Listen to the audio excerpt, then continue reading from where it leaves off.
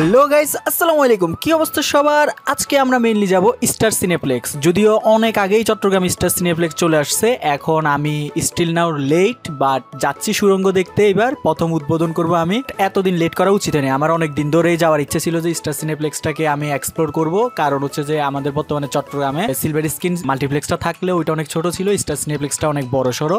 So আমার একটা excitement তো ছিলই যে কতটা লার্জারভাবে এটাকে রেডি করছে। ইন্টেরিয়র এক্সটেরিয়র এই আমরা আসি গেলাম অলরেডি বালি আর্কেট যেটার মধ্যে আমাদের স্টার সিনেপ্লেক্স আছে। তো স্টার সিনেপ্লেক্সে ঢুকলেই লিফটে করে আমরা প্রথমে টিকিট কাউন্টারটা পাবো।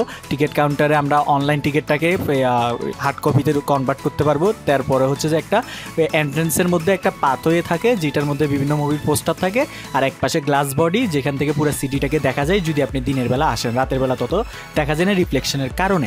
তারপরে আমরা মেইন এন্ট্রেন্সটা পাচ্ছি। এন্ট্রেন্সের পরেই আছে আপনার পুরো ওপেন স্পেসটা যেখানে আপনার এ, তিনটা হল তো, তিনটা হলের প্রত্যেকটা অডিয়েন্সকে ওপেন স্পেসে রাখার মতো বড় একটা জায়গার দরকার ছিল, যেটা মোটামুটি ভালোভাবেই দিছে এবং এখানে কিছু ডাবল হাইটের ইন্টেরিয়র ডিজাইন ছিল, যেগুলো জোস। এরপর আমরা মেইন হলে ঢুকলাম। সিনেপ্লেক্সের মধ্যে তিনটা হল আছে, এক হল নাম্বার ওয়ান টু থ্রি এই তিনটা হলের মধ্যে আমার হল পড়ছে সে হল নাম্বার টু এই হলটার আমার অনেক ভালো লাগছে। এখন আমি সুরঙ্গ দেখাই স্টার্ট করছি। আপনারা দেখতেছেন স্কিন কোয়ালিটি অত্যন্ত জোস এবং মোটামুটি সুরঙ্গের ক্রাউড বর্তমানে কতটা ক্রেজ অডিয়েন্স আছে সেটা আমরা সবাই জানি। সো ওভারঅল আমার থেকে হল এম্বিয়েন্সটা অনেক বড় আসলে সিঙ্গেল স্ক্রিনের মতোই, কিন্তু মাল্টিপ্লেক্স ফরম্যাটে সো আমাদের জন্য, চট্টগ্রামের জন্য এটা অনেক স্পেশাল যে স্টার সিনেপ্লেক্সটা এখানে হওয়াটা? কারণ আমাদের এখন মুভি দেখার জন্য আমরা একদম বাংলাদেশের টপ মানের হল পাচ্ছি। সো মুভি শেষ করলাম মুভি শেষ করার পরে ওভারভিউ হচ্ছে যে, সব অডিয়েন্স খুশি, আমিও খুশি হল এম্বিয়েন্সও খুশি, সব মিলে কিন্তু বাইরে মেবে বৃষ্টি হচ্ছে। সো আমার আর কি করার? স্টার সিনেপ্লেক্সের কাছে আমি মুগ্ধ।